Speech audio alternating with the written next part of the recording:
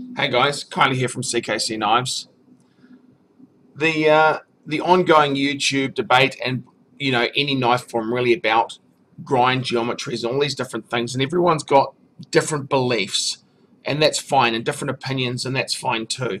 But there is a point when simple facts and reality do come into play, and it can be tiresome when people speak to the public like they're experts but their facts simply just don't add up to mathematical correctness. And they have a lot of people that just don't bother checking the facts scientifically for themselves using mathematics and seeing if what's being told to them is correct, and they just believe it's correct. and that's a bit of a shame. And I recently watched a segment of a video that someone linked me to speaking about chisel grinds and V edges and how there are advantages to one or the other based on specific edge angles and I want to just cover some actual facts using CAD reality fixed numbers something that anybody with a ruler some calipers whatever you know you, you can work this out yourself. I'm doing it in CAD because it's very easy to get specific accurate numbers.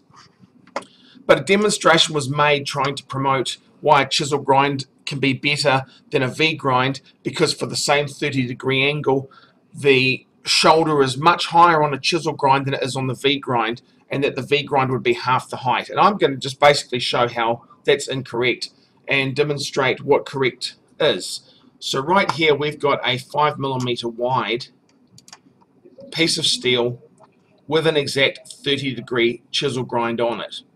And we're dealing with real specific numbers here.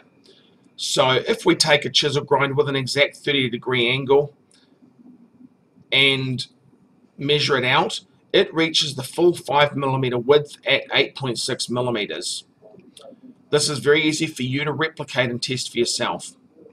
8.66 millimeters reaches full width. If we then take a V-edge and give it the exact same 30 degree inclusive edge angle, it reaches the full 5 millimeter thickness at 9.31 millimeters. It is in fact a higher grind when it reaches full thickness and therefore it can travel deeper than the chisel for the same given resistance. Now I've got a couple of other things on the side here that you can look at. This is to demonstrate how they're pretty much identical apart from direction of the rest of the blade. This is the V grind tilted until one of the bevels is perpendicular to the cut, just like the chisel grind.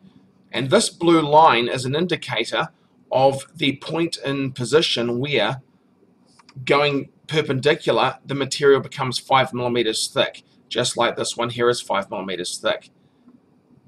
The height from the cut is 8.6 millimeters pretty much identical to the chisel grind.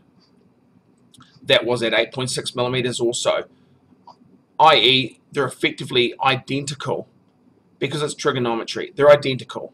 The only difference between the two now for replicating the same cut is this portion of the blade here and its angle in relation to the direction of the cut, like so. Now, over here, we have the chisel grind tilted so that its bevels are in the same perpendicular alignment as the V grind centered into the cut 30 degrees 30 degrees. Notice how they look identical.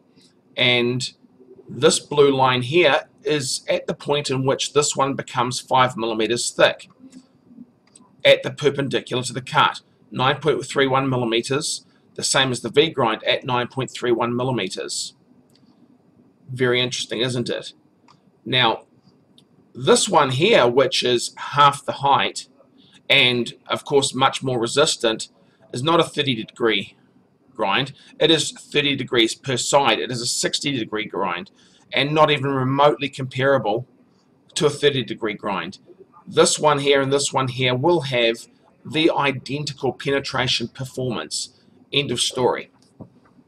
So then we get down to the question of why V grind over chisel. Well, you've got to think about the practical application of why a chisel has been designed.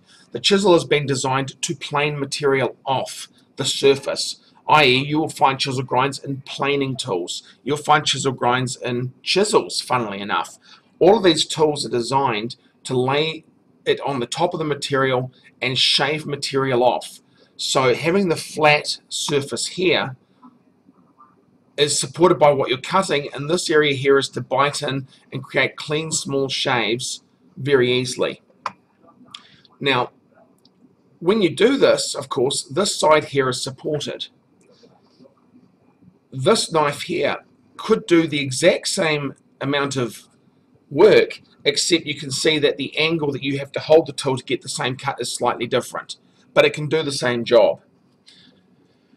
Now I did a video a long time ago discussing how edge rolling, chipping and damage can happen when you're not cutting correctly and one of the key principles was that when you are cutting into material your edge bevel alignment needs to be perpendicular to the cut that you're making to have a clean cut that will not damage this edge down here.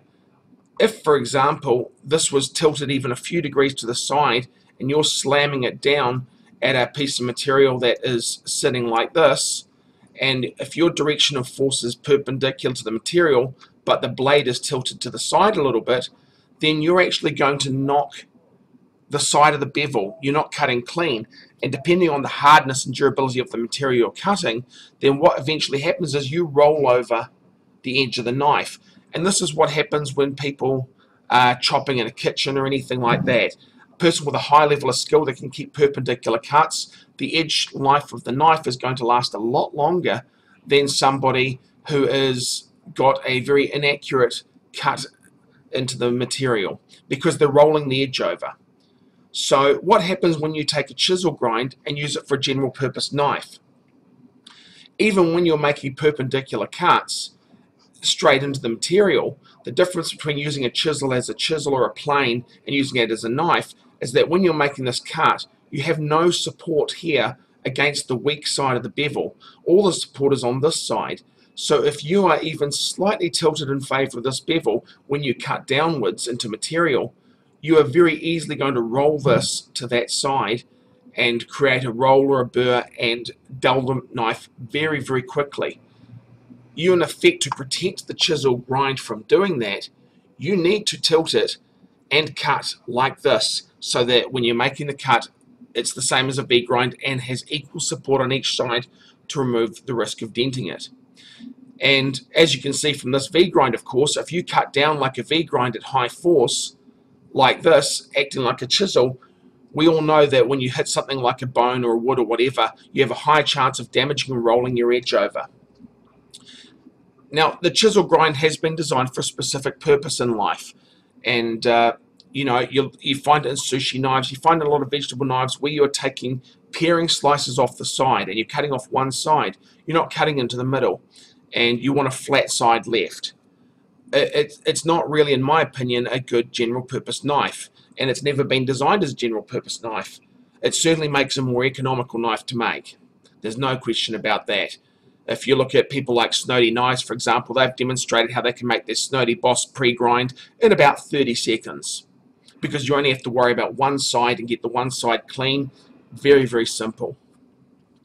So this is just a clarification that I don't think you should believe me here. You can believe me because I believe that I'm right. But you should seek to determine the facts for yourself and not just believe what you see, especially when people are using pen and paper and pencil drawings and basically saying things that are outright physically impossible it is physically impossible to have a chisel grind of 30 degrees and say that the height where it will reach full thickness is going to be double that of a V grind of the same 30 degrees. If you want to misspeak and say 30 degree inclusive chisel against a 30 degree per side, then sure, that would be correct.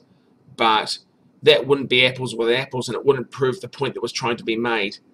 And really the simple fact about knives and everything is you can say it's not science all you like because there is no peer review system like a doctor or a physicist or lots of other things, but knives are made based on science, based on geometry. And if you don't understand that correctly, how can you actually build a tool correctly? You can't is the answer. Because if your foundation of your understanding is wrong, just on basic angles, then you're not going to actually make things correctly. So I hope this is useful to people. Uh, I'm not going to get into any arguments or debates with anyone else on YouTube anymore regarding these things. I'm putting out my information.